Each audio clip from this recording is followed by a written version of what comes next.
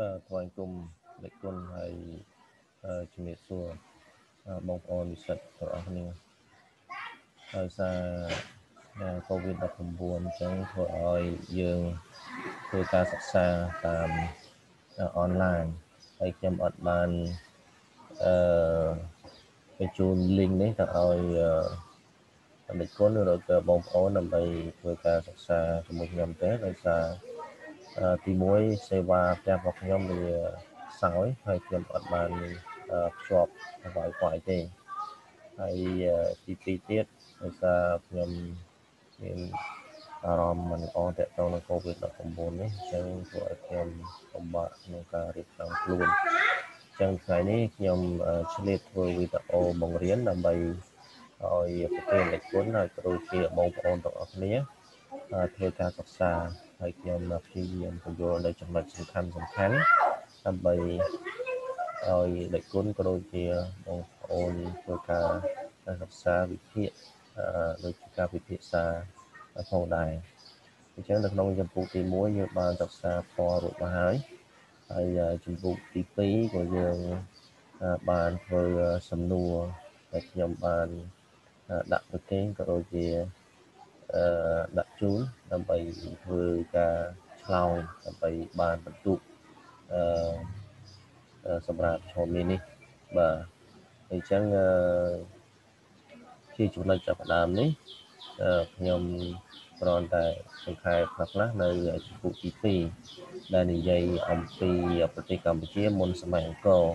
អញ្ចឹងប្រទេសកម្ពុជាយើងមុនសម័យអង្គរវាចែកជាសម័យកាល2 គឺអឺ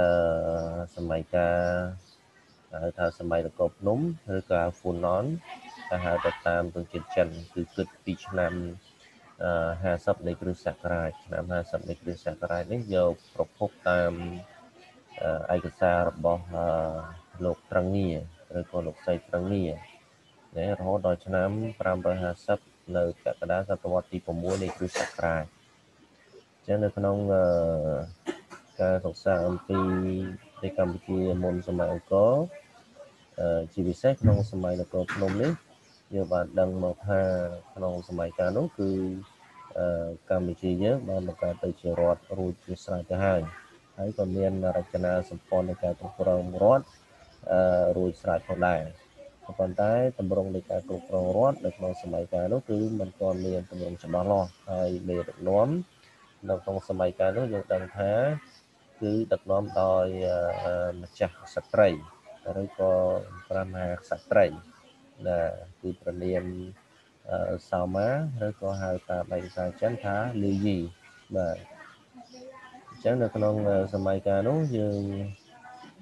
មើលតាមឯកសារដែលខ្ញុំដាក់ឲ្យនេះគឺយើងស្ថិតនៅក្នុងការគ្រប់គ្រងនៃអាណាចក្រភ្នំហ្នឹង នៅក្នុងអឺគេហៅថារជ្ជកាលប្រមាថប្រនាងលីយីហ្នឹងគឺមានអាយុកាលជាង200ឆ្នាំដែលព្រះនាងបានសំពងធ្វើបផ្សាយជាមួយនៅប្របាទកៅដិនឬក៏ហ៊ុនទៀនបាទកៅដិនហ្នឹងគេហៅកៅដិនទី1បាទកៅដិនទី1អញ្ចឹងលោកបានរាជវង្សានុវង្សរបស់យកលោកហ្នឹងបានគ្រប់គ្រង នៅណារយៈភ្នំនោះជាង200ឆ្នាំណាជាង200ឆ្នាំបាទហើយគ្រប់គ្រងទៅលើសមន្តរដ្ឋទាំងឡាយផ្សេងផ្សេងហ្នឹងបាទក្រោយមកមានការបែកបាក់ឬក៏មានចំនួននៅក្នុងរាជវង្សធ្វើឲ្យអាណាចក្រភ្នំចុះទងខ្សោយអញ្ចឹងធ្វើឲ្យសមន្តរដ្ឋដទៃទៀតមានអាណាចក្រចេនឡាជាដើមដែលជាសមន្តរដ្ឋរបស់អាណាចក្រភ្នំហ្នឹងបានរើបំរាស់ហើយក៏បាន ធ្វើការវាយដណ្ដើមគ្រប់គ្រងទៅលើអាណាចក្រភ្នំអឺគ្រប់គ្រងចំនួនវិញបាទអញ្ចឹងអាណាចក្រចេឡាហ្នឹងគឺយើងបានដឹងថាចេឡានៅតំបន់បាសាក់ណាតំបន់បាសាក់ណាតំបន់បាសាក់ហ្នឹងគឺនៅបច្ចុប្បន្ននៅវត្តភូនៃប្រទេសឡាវបច្ចុប្បន្នបាទតែមានរាជធានីថាភវពរៈណាភវពរៈ បានធ្វើសង្គ្រាមជាមួយនឹងអាណាចក្រភ្នំហ្នឹងនៅឆ្នាំ550ហ្នឹងដែលដឹកនាំដោយប្របាទភវវរ្ម័នទី1ដែលភវវរ្ម័នទី1ហើយបានធ្វើសង្គ្រាមជាមួយអាណាចក្រភ្នំហ្នឹងណារហូតដល់ឆ្នាំ630ទៅគ្រប់គ្រងអាណាចក្រភ្នំទាំងស្រុងបាទអាណាចក្រភ្នំទាំងស្រុងហើយបានបង្រួមរួមអាណាចក្រចេឡានិងអាណាចក្រ ភ្នំហ្នឹងជាចេឡាតែមួយបាទដែលមានវិសាលភាពទឹកដីធំទូលំទូលាយនៅក្នុងសម័យចេឡានោះហើយសម័យចេឡាយើងបានដឹងថាគេរាប់ពីឆ្នាំ550ដល់ឆ្នាំ800ឬក៏802បាទពីសតវត្សទី6ដល់សតវត្សទី9នឹងគឺសម័យចេឡាអញ្ចឹងសម័យចេឡានេះគឺជាសម័យកាលមួយដែលអាណាចក្រខ្មែរអឺ ស្ថិតនៅក្រោមការគ្រប់គ្រងឬក៏អធិពលនៃសាសនាព្រាហ្មណ៍អឺភាគច្រើនគឺមានអធិពលខ្លាំងសាសនាព្រាហ្មណ៍នឹងបាទអញ្ចឹងចេឡានេះបានគ្រប់គ្រងពីឆ្នាំអឺ6ឆ្នាំ550ដល់ឆ្នាំ800នៅឆ្នាំ800ហើយនៅចុងសតវត្សទី8ហ្នឹង គឺអាណាចក្រចេឡាហ្នឹងបានបែកបាក់ជាពីរហើយស្ថិតនៅក្រោមការគ្រប់គ្រងឬក៏អាណានិគមរបស់ពួកជ្វារយៈពេលជាង10ឆ្នាំបាទហើយពួកជ្វាហ្នឹងបានគ្រប់គ្រងចេឡាទាំងពីរបាទចេឡាទឹកលិចនិងចេឡាដីគោកហើយចេឡាទឹកលិចយើងបានដឹងថានៅស្រុកសម្បូរខេត្តប្រចេះដែលមានទីក្រុងថាសម្ពុពរៈសម្ពុពរៈហើយចេឡាដីគោកនៅ បាសាក់ដដែលនៅចេឡាដើមដដែលដែលមានទីក្រុងដើមថាភវពរៈនឹងឯងអញ្ចឹងនៅក្នុងសម័យកាលនោះគឺយើងស្ថិតនៅក្រោមការគ្រប់គ្រងរបស់អាណាចក្រអាណាចក្រជ្វាហ្នឹងដែលនៅក្នុងរាជវង្សសៃលេនត្រាក់បាទសៃលេនត្រាក់ដល់ក្រោយមករាជវង្សសៃលេនត្រាក់នៅប្រទេសជ្វាដែលបច្ចុប្បន្នជាឥណ្ឌូនេស៊ីហ្នឹងបានចុះទូខ្សោយហ្នឹងបានបរិជាមួយព្រះអង្គប្រនាម ជ័យវរ្ម័នទី2ដែលត្រូវបានពួកជ្វានឹងចាប់បញ្ជូនទៅប្រទេសជ្វានោះបានជំនះខ្លួនពីអំពីជ្វាហើយបានមករួបរวมសាមគ្គីទឹកដីខ្មែរដើម្បីបណ្ដេញពួកជ្វានឹងចេញពីអាណាចក្រខ្មែរហើយបានបង្កើតនៅអាណាចក្រថ្មីមួយគេហៅថាអាណាចក្រអង្គរអាណាចក្រអង្គរអញ្ចឹងយើងរាប់ថាពីអាណាចក្រអង្គរពីឆ្នាំ802 ឆ្នាំ802គឺយើងបើកសករាជថ្មីនៃអាណាចក្រអង្គរដែលហើយស្ដេចដែលស្ថាបនិកអាណាចក្រអង្គរនោះគឺប្របាទជ័យវរ្ម័នទី2នឹងឯងបាទប្របាទជ័យវរ្ម័នទី2នឹងឯងអញ្ចឹងនៅក្នុងវីដេអូនេះខ្ញុំសិក្សាលម្អិតឬក៏បង្ហាញនៅព្រឹត្តិការណ៍នៅក្នុងសម័យអង្គរភ្ជាប់ជាមួយអំពីសម័យកាល មុនអង្គរដែលខ្ញុំបានសង្ខេបនៅព្រឹត្តិការណ៍ខ្លះខ្លះដើម្បីឲ្យដេចគុណព្រោះជាបងប្អូននិស្សិតហ្នឹងបានយល់បានជ្រាបផងដែរបាទអញ្ចឹងនៅក្នុងអឺវីដេអូនេះខ្ញុំក៏សូមលើកយកនៅសម័យអង្គរដើម្បីធ្វើការសិក្សា ឬក៏ដើម្បីធ្វើការបង្ហាញតាមប្រព័ន្ធអនឡាញឬក៏តាមវីដេអូ Zoom នេះដើម្បីបានជាចំណិតក៏ដូចជាការស្វែងយល់អឺក្នុងការចេះដឹងបន្ថែមហើយតើតើនៅប្រវត្តិសាស្ត្រនេះដៃគុណក៏ដូចជាបងប្អូននិស្សិតយើងបានដឹងខ្លះហើយតែដោយសារយើងសិក្សានៅថ្នាក់ឧត្តមសិក្សា អញ្ចឹងត្រូវការសិក្សានៅប្រវត្តិសាស្ត្រខ្មែរក៏ដូចជាប្រវត្តិសាស្ត្រប្រទេសកម្ពុជានឹងឲ្យកាន់តែស៊ីជម្រៅទៅទៀតដើម្បីបង្កើតនៅចំណិតនៃការវិភាគវិភាគបាទចំណិតវិភាគមួយអឺសំយោគមតិណាសំយោគមតិដើម្បីស្គាល់នៅប្រវត្តិសាស្ត្រខ្លួនឯងឲ្យកាន់តែច្បាស់និងស៊ីជម្រៅបន្ថែមទៀតអញ្ចឹងនៅក្នុងចម្ពោះទី3នេះតែជាសម័យកាល ប្រវត្តិសាស្ត្រឬក៏គេហៅថាអឺសម័យកាលទី3នៃប្រវត្តិសាស្ត្រខ្មែរក្នុងសម័យអង្គរអញ្ចឹងសម័យអង្គរយើងរាប់មកពីឆ្នាំ802ដល់ឆ្នាំ1431នៃគ្រិស្តសករាជអញ្ចឹងយើងឃើញថាស្ដេចស្ថាបនិកអាណាចក្រអង្គរនេះចំណុចទី1អញ្ចឹងយើងបានឃើញថាស្ដេចដែលអឺ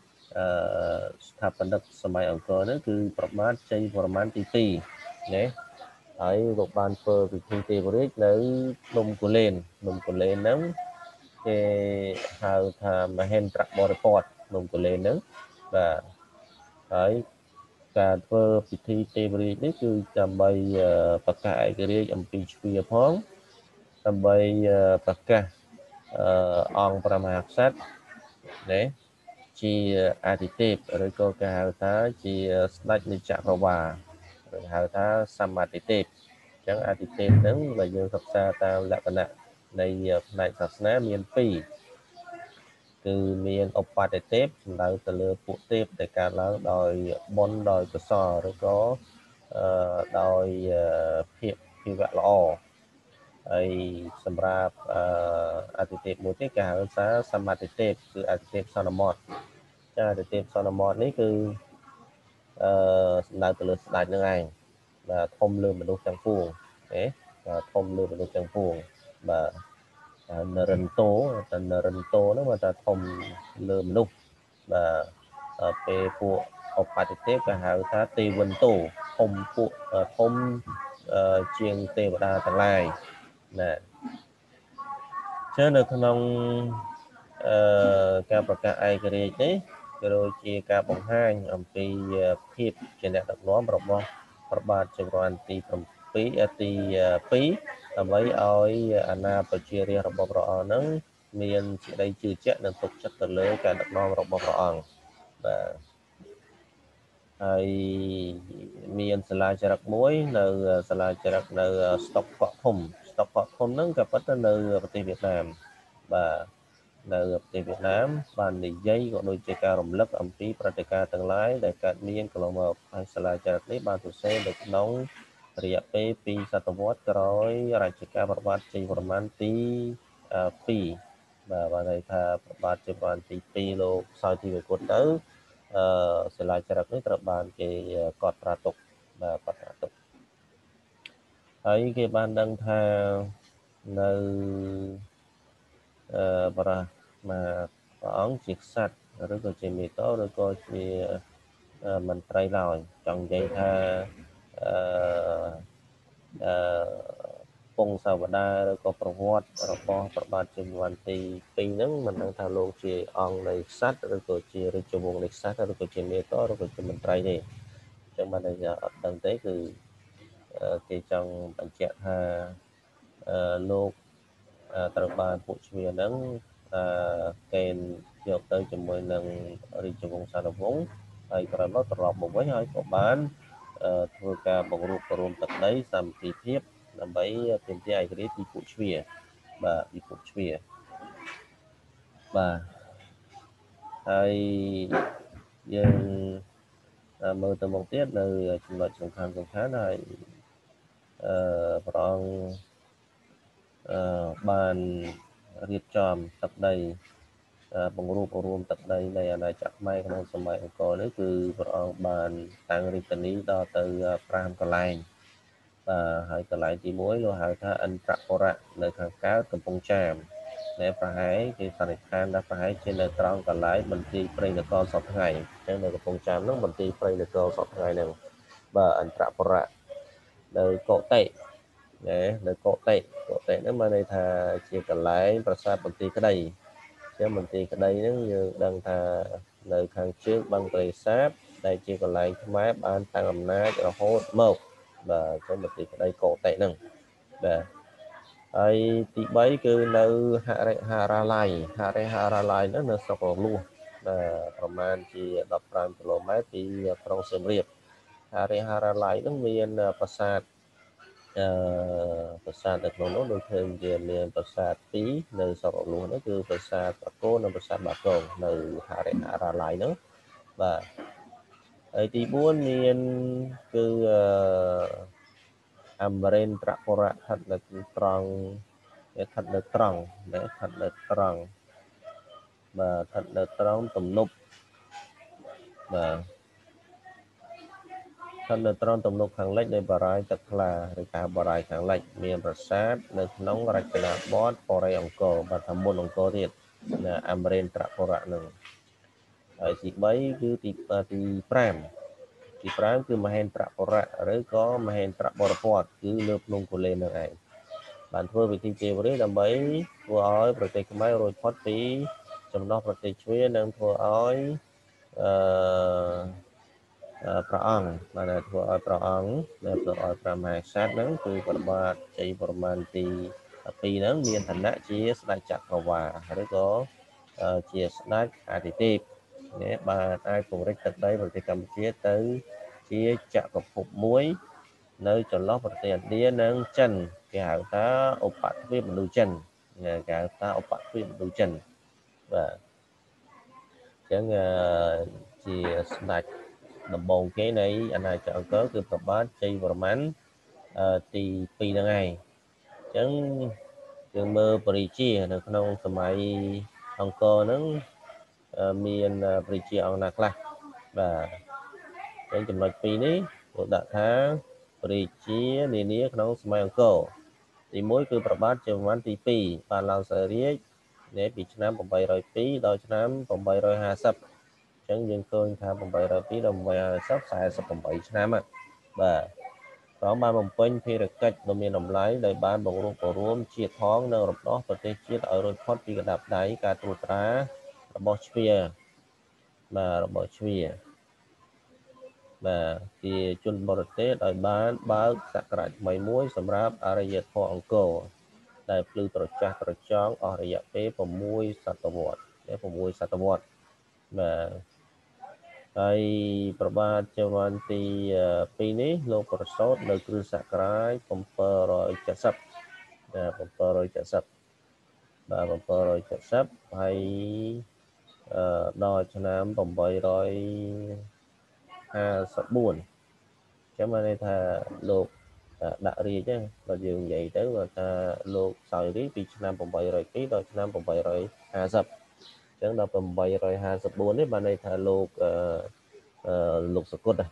បាទអញ្ចឹងរជ្ជកាលក្រុងរាជរជ្ជកាលក្រុងរាជគឺពីឆ្នាំ802ដល់ឆ្នាំ850ចក្រភពកម្ពុជាទេដែលត្រួតត្រាអាស៊ីអាគ្នេយ៍ដីគោកមួយភាគធំអស់រយៈពេលជាង600ឆ្នាំ ហើយគេស្គាល់ថាជាសម័យកាលខ្លាំងពូកែរបស់ប្រជារាស្ត្រខ្មែរនាចក្រភពអង្គរគឺសករាជ802ដល់ឆ្នាំ6431ក្រោយទទួលឯករាជ្យសម្បត្តិទ្រង់បានបរមនាមហើយទ្រង់មានប្រាប់បរមនាមថាវរៈវរៈបាទគេហៅប្រាស់បាទណាប្រាស់បាទធូលីជេងជេងឬក៏ប្រាក់ កំរងតេងអញ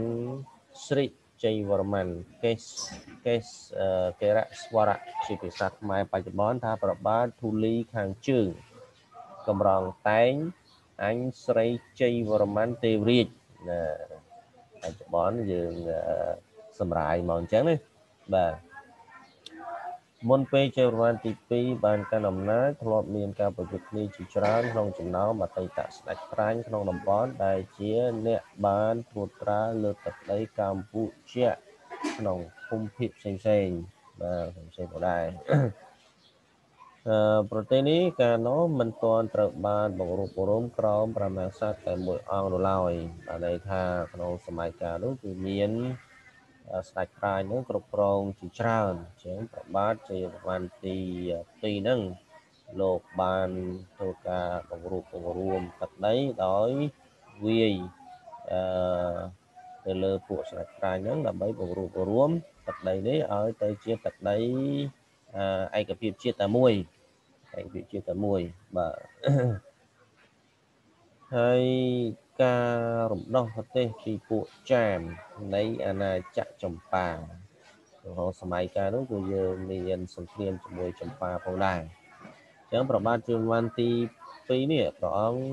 ជាប់រាជវង្សប៉ុស្ករិយប៉ុស្ករិយហ្នឹងគឺព្រះអង្គគង់នៅក្រុងសម្ភុរៈសម្ភុរៈនេះជា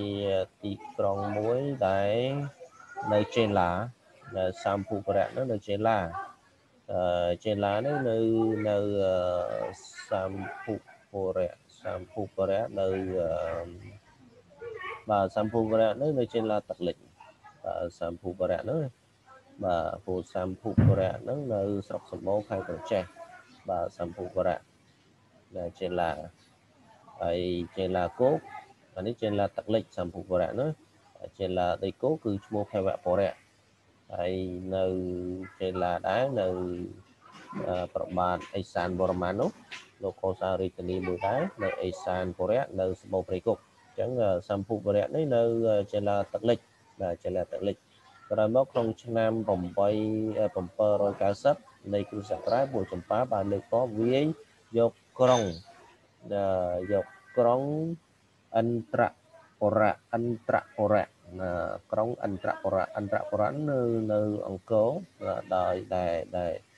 ដែលបង្កើតឡើងដោយប្របាទអន្តរវរ្ម័នអន្តរវរ្ម័ននោះលោកកសាងប្រាសាទបាកុងប្រាសាទបកូបាទបាទនៅក្នុងសម័យកាលនោះណាយើងគិតទៅបាទហើយប្របាទជាមានទី 2ទ្រង់បានភៀសប្រកាយទៅសម្ភុបរៈក្នុងខេត្តកោះចេះហ្នឹងអញ្ចឹងសម្ភុបរៈហ្នឹងគឺនៅក្នុងខេត្តកោះចេះជា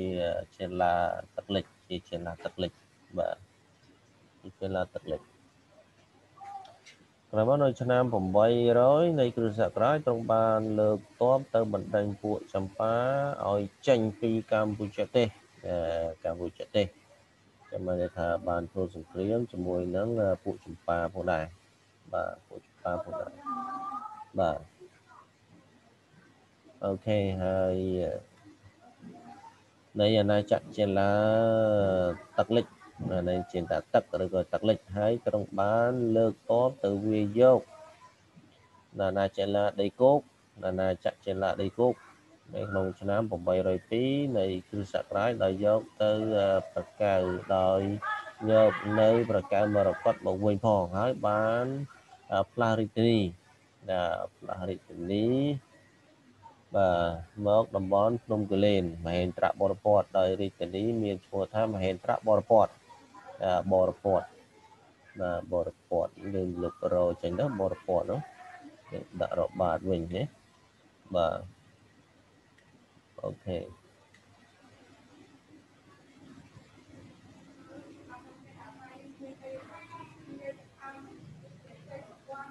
បាទហេនត្រៈបរពតបានសាងនៅទីសក្ការៈបូជាជាច្រើនដូចជាប្រាសាទអកយំនៅសេតវលឹង1000នឹងធ្វើពិធីទេវរាជនៃការឡើងក្រុងរាជជាស្ដេចឡើងក្រុងរាជជាស្ដេច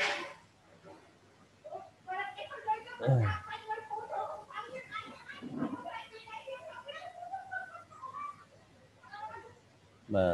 ផែនដីនៃអាណាចក្រខ្មែរក្រោយមកនៅឆ្នាំ817នៃគ្រិស្តសករាជទើបទ្រង់ផ្លាស់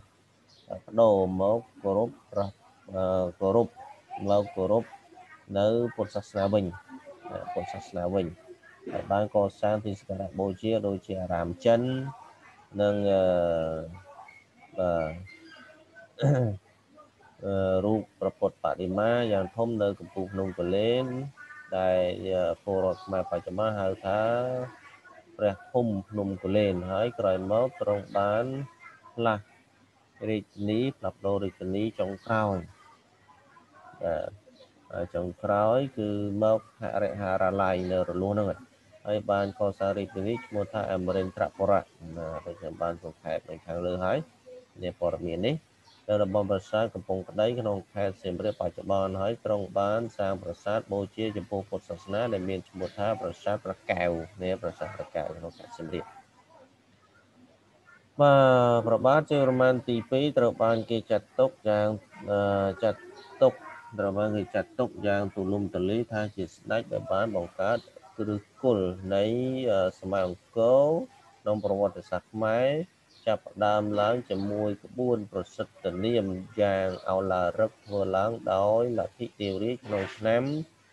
802នៃគ្រិស្តសករាជលើភ្នំពិសិដ្ឋមហេន្ទ្របរពតបាទមហេន្ទ្របរពតបាទបរពតគឺអត់ស្អីចឹងទៅយើងសេបែបនេះវិញបាទហេន្ទ្របរពត បច្ចុប្បន្នត្រូវគេថាស្គាល់ថាជាភ្នំកលែនដើម្បីធ្វើពិធីប្រកាសឯករាជ្យបាទអូខេមួយឥឡូវយើងអឺសង្ខេបប៉ុណ្ណឹងចុះហើយយើងទៅលើស្ដេចបន្តទៀតបាទស្ដេចបន្តទៀតហើយជាព្រាជបុត្ររបស់ព្រះបាទជ័យវរ្ម័ន អឺបាទជ័យវរ្ម័នទីអឺទី2បាទ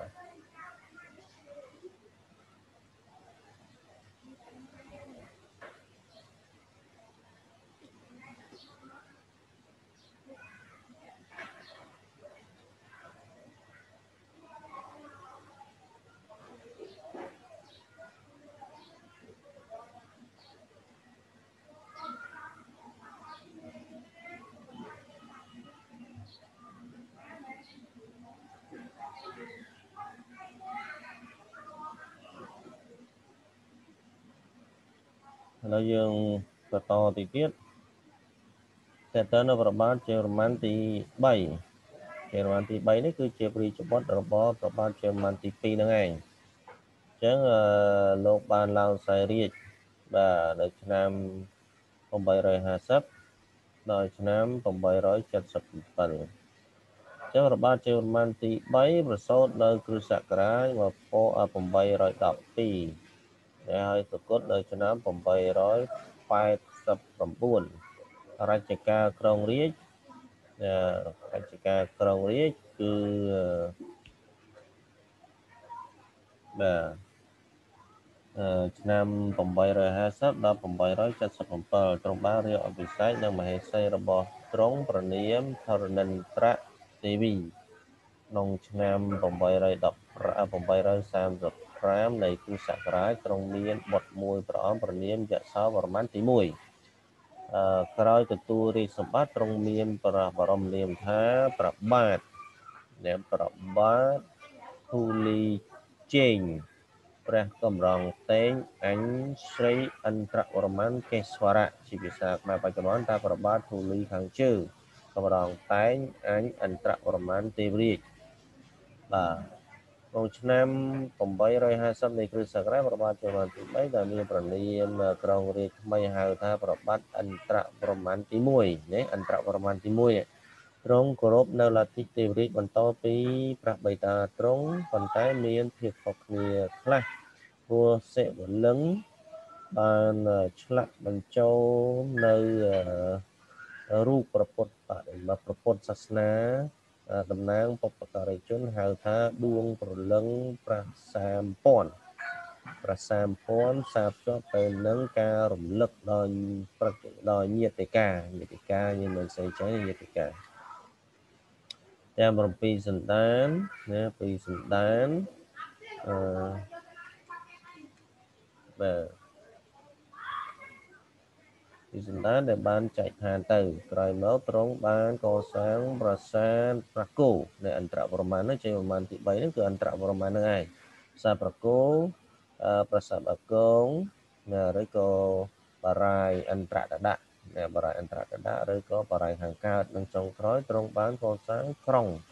អង្គរទី1ហៅថាយសោតរៈពរៈត្រង់ភ្នំបាខែងហ្នឹងឯងបាទ ក្រមទៀតគឺមានសាយរាជទី3ដែរយសោវរ្ម័នទី1ដែលជាព្រះរាជបុត្ររបស់ព្រះបាទជ័យវរ្ម័នទី3ឬក៏ហៅថាព្រះបាទអន្តរវរ្ម័នទី1ហ្នឹងទៅបានសាយរាជបន្តបាទសាយរាជបន្តគឺព្រះបាទយសោវរ្ម័នទី1លោកប្រសូតនៅ គ្រិស្តសករាជ835ដល់ឆ្នាំ900រជ្ជកាលក្រុងរាជ គឺ877ដល់889ទ្រង់បានរៀបអភិសេកនឹងមហេសីរបស់ទ្រង់ប្រនាមអភិកនីយេយនីប្រែមកថាអឺភៈអឺភៈកាន់និយានីក្នុងឆ្នាំ856នៃគ្រិស្តសករាជទ្រង់មានបុត្រមួយព្រះអង្គប្រនាមអេសានវរ្ម័ន ក៏ទទួលរាជសម្បត្តិក្រុងរាជក្នុងឆ្នាំ877នៃគ្រិស្តសករាជទ្រង់បានមានបរមនាមថាប្របាទធូលីជេងប្រះកំរងតែងអញស្រីយសោវរ្ម័នកេយសោវរ្ម័នកេស្វរៈជាភាសាខ្មែរបច្ចុប្បន្នថាប្របាទធូលីខាងជើងកំរងតែងអញយសោវរ្ម័នទេវរាជទ្រង់បានកសាងនៅរាជធានីយសោបរៈយសោតរៈបរៈអញ្ចឹងយសោតរៈបរៈហ្នឹងគឺជា រាជធានីដែលបានស្ថិតនៅយូរអង្វែងជាងគេបាទហើយរាជធានីនេះវានៅភ្នំភ្នំបាខែងនឹងឯងបាទហើយបានកសាងប្រាសាទប្រវហាកសាងប្រវហាក៏កសាងប្រាសាទប្រវហានេះគឺកសាងដល់ប្របាទយសោប្រមាណទី1ហ្នឹងបាទហើយដើម្បីឧទ្ទិសចំពោះអរិទេពគេករិស្វរៈបាទនេះកំពូលភ្នំដងរែក ត្រូវបានលើកតទៅវាយភាគខាងលិចហើយបានកសាងប្រាសាទអឺប្រាង្គ3នៅទឹកដីថៃបច្ចុប្បន្នអញ្ចឹងមានប្រាសាទខ្មែរមួយហើយកសាងដល់ប្របាទយសោប្រមាណទី1ហ្នឹងនៅទឹកដីថៃផងដែរបាទហើយមកព្រះជាទី4នេះគឺមានប្របាទអេសានបរម័ន ហើយយើងនិយាយមែនតើអេសានបរម័ននេះគឺអេសានបរម័នទី2ព្រោះអេសានបរម័នទី1នេះគឺនៅក្នុងសម័យជាឡាបាទក្នុងសម័យជាឡាបាទសម័យជាឡានោះអេសានបរម័នទី1ដែលកសាងអឺនៅអេសានបរៈនោះនឹងសម្បូរព្រៃគុកបាទអញ្ចឹងយើងមើលនៅប្របាទអេសានបរម័នទី2លោកសាងសារីនៅឆ្នាំ889ដល់900 900 បាទប្របាទរិសានបរមានទី2ដាក់ទី2ទៅដើម្បីឲ្យកុំឲ្យច្រឡំបាទប្រសូតនៅគ្រិស្តសករាជ851ដល់900រជ្ជកាលក្រុងរាជបាទ889ដល់900ទ្រង់បានរៀបអភិសេកនិងមហេសីរបស់ទ្រង់មួយអង្គមិនស្គាល់ប្រនាមទេក្នុងឆ្នាំ870នៃគ្រិស្តសករាជទ្រង់មានបុត្រមួយព្រះអង្គប្រនាមអេសានប្រមាណទី2នេះ បាទអញ្ចឹងដល់ពេលយើងដាក់ទី2ដែរបុត្ររបស់ព្រះអង្គដាក់ទី2ដែរ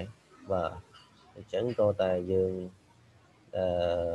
លុបចេញវិញដាក់អេសានវរ្ម័នប៉ុន្តែអេសានវរ្ម័ននេះគួរតែដាក់ទី2ហើយប៉ុន្តែយើងលុបចេញវិញណាកុំឲ្យច្រឡំជាមួយបុត្ររបស់ព្រះអង្គបាទពួកបុត្ររបស់ព្រះអង្គនោះដាក់អេសានវរ្ម័នទី2ប្របាទអេសានវរ្ម័នទី2ទ្រង់បានរៀបពិសេសនឹង អ្នកមនាងរបស់ទ្រង់មួយព្រះអង្គប្រនាមអ្នកមនាងកែវទ្រង់មានបុត្រមួយព្រះអង្គប្រនាមអឺហាស្វរៈវរ្ម័នក្នុងឆ្នាំ901នៃគ្រិស្តសករាជចុងឆ្នាំ900នៃគ្រិស្តសករាជអឺពវាក្រែកដែលទៅជាមួយជប់អត់លើយ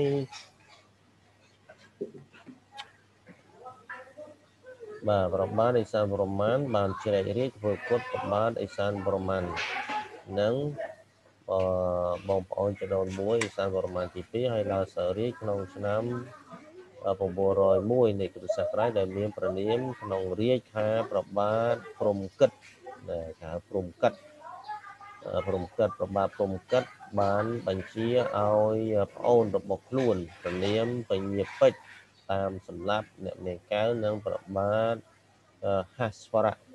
ហាស្វរៈវរ្ម័នក្នុងឆ្នាំ901នៃគ្រិស្តសករាជក្នុងការតាមសម្លាប់ប្របាទហសវរ្ម័ននោះអឺតមកប្រវត្តិរឿងប្របាទបាក់សីចាំក្រុងដែលតទៅរឿងបាក់សីចាំក្រុងអញ្ចឹងរឿងទាំងអស់នេះប្រហែលជាលោកគុណក៏បងប្អូនទាំងអស់គ្នាបានអាចដឹងខ្លះខ្លះបាទអញ្ចឹង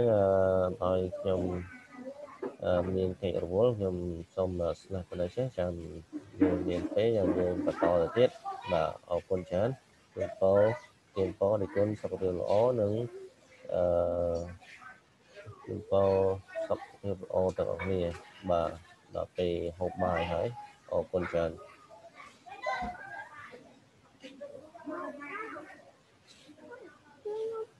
អមឡាបាទ